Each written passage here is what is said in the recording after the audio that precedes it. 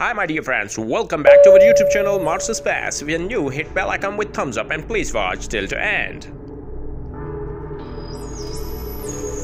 NASA's Mars Perseverance rover captured this footage using its left Mastcam Z camera and Navcam on board NASA's Mars Curiosity rover. These images were captured on 2nd June 2022, Sol 456.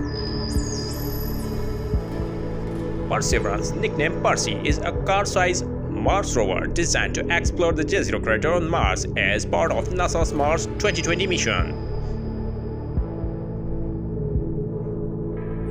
Confirmation that the rover successfully landed on Mars was received on 18 Feb 2021. Perseverance rover completed its 456 sols at the surface of Red Planet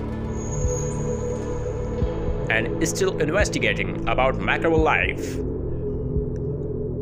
I want to explore more, so stay connected with Mars Space.